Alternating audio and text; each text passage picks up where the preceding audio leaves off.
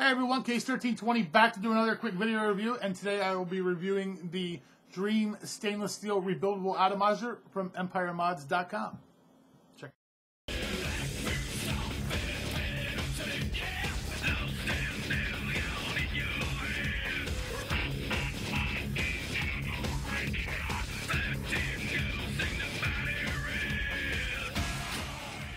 All right.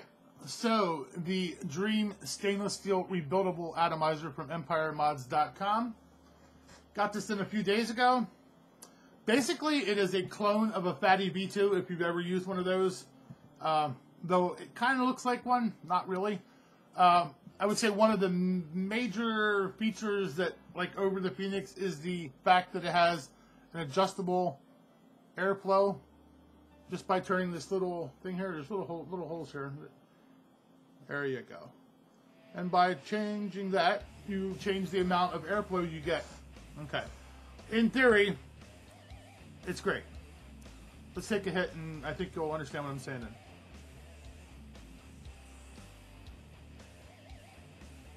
Okay, so that's uh, a little too airy for me, so I'll back it back a little bit.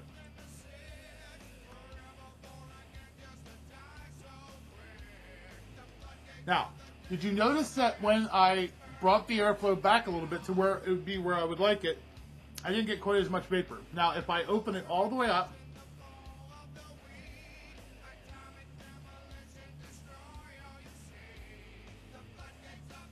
tons of vapor, but it's like you're sucking through a straw.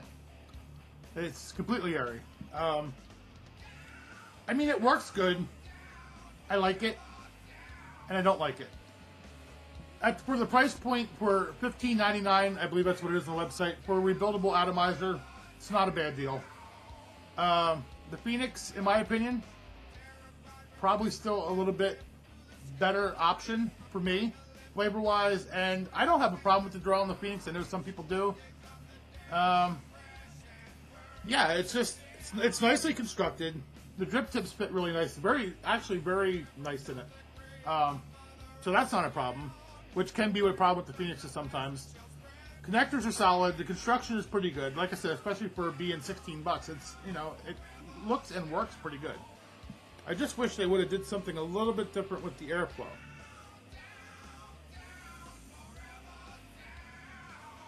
Yeah, see that's that's good, but it's it's airy, and then if I close it down a little bit, which I'm still getting a lot of air through it, but not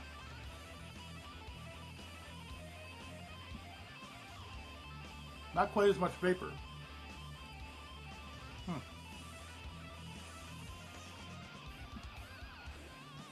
I don't know. If you don't like the Phoenixes because of the draw, maybe check one of these out. Uh, in my opinion, the Phoenix is a better alternative. A little bit cheaper, a little easier to find. They both, rebuildable wise, rebuilding both are pretty easy. Um, I would say this one may be a little bit more, a little easier because it, you don't have to worry about threading those little holes. Uh, this is just basically two screws on top. And uh, yeah, I mean, it, it's, a, it's a pretty sound atomizer, but not better than Phoenix in my opinion. So, again, short video. Still need a new cam so I can do take apart and rebuild things because there's no sense to me doing that when my cam doesn't autofocus. So uh, for now, this is Case. I'll see you later. Bye.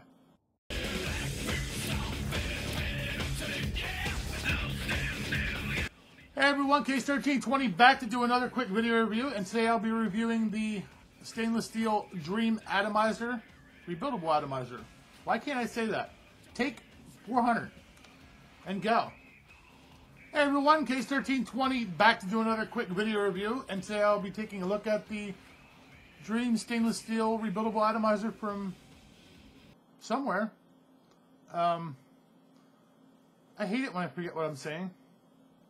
Pay no attention to the man behind the cam. He knows nothing what he's talking about.